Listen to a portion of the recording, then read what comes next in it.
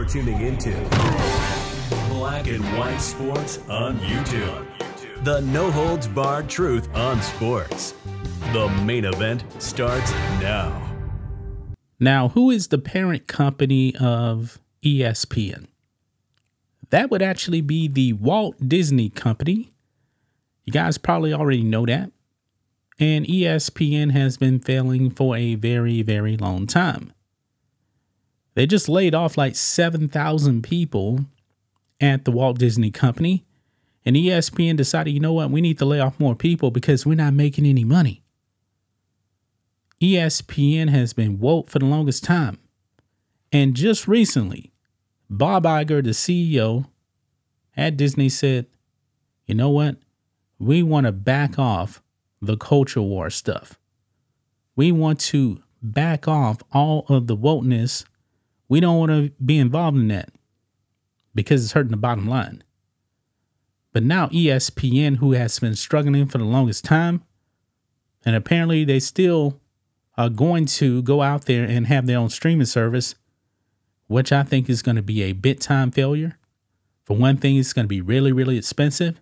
And I don't think people want to spend that kind of money on ESPN. It's going to be the most expensive streaming service out there.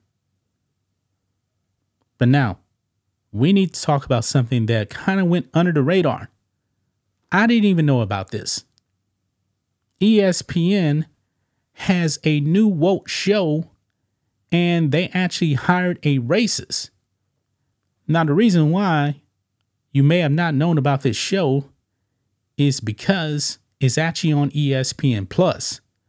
I don't know how many people are actually going out there and spending money on ESPN Plus. But the racist that they actually hired was Ibram X. Kendi, the anti racist person that is a racist.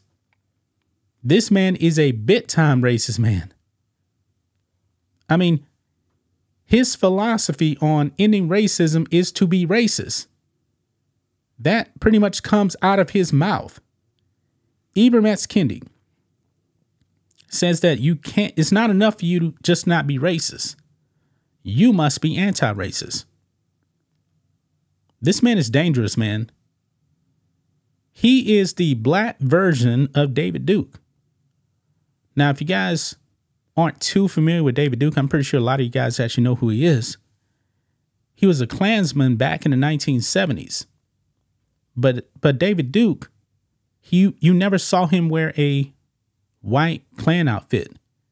He didn't go out there using uh, racial slurs or anything like that. But he was still dangerous with his rhetoric. It's the same thing with Ibram X. Kendi. The same exact thing.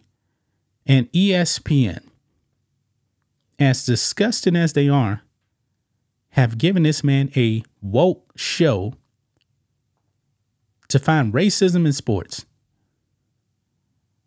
I'm stunned by this. I didn't see this coming, had no idea that this was actually happening. But look here, because Ibram X. Kendi has to be all about race. Daily Mail here. Woke author X. Kendi launches new ESPN Plus show, Skin in the Game, on racism in the sports world. This, despite uh, Disney boss Bob Iger's vow that the company will quiet the noise over culture war controversies. They got the biggest races out there. They got one of the biggest races out there and they platform this man on ESPN Plus. This is probably why not too many people actually know about this show. Ibram X. Kendi is dangerous. This man truly wants to bring us back to the 1960s with segregation. He believes that in order to end racism, you must be racist. That is his words. And the left, they love this guy. Leftists, they really do love Ibram X. Kendi. And he wants to dig up racism in sports. Now, guys, I've been watching sports, many sports, for the longest time. The most influential and most powerful athletes, for the most part, and successful, have been black. When you think of the NBA, there is a ton of black players that are very, very successful. And we all know that the players in the NBA, they run the show. Adam Silver is so say supposed to be working for the owners, but the players, they overpower the owners. The players wanted Black Lives Matter on that court. Guess what? They got it. And the NBA has paid the price. A lot of people have not went back. LeBron James has a whole bunch of power over the NBA. I'm trying to figure out what racism is. Because in the major sports, I just don't see it. The NFL right now, there is a ton of black quarterbacks that started. ESPN even put that out there. I believe it was almost half of the starting quarterbacks in week one were black. Where is the racism? I mean, this is straight out of the uh, Colin Kaepernick book. Right here. Find racism. Just make it up without any proof. And of course, Jemele Hill is on there because Jemele Hill is always around Ibram X. Kendi because she is one of the biggest races out there in the sports media. I mean, this woman was so woke, ESPN got rid of her. And ESPN is super duper woke.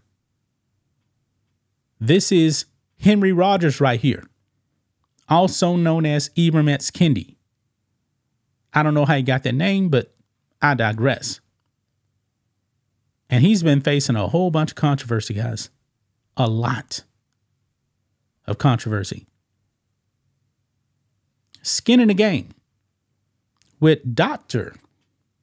Ibram X. Kendi, I guess he has a PhD, is a joint production between ESPN Plus Originals, Andscape, Religion of Sports, and Kendi's Maroon Visions.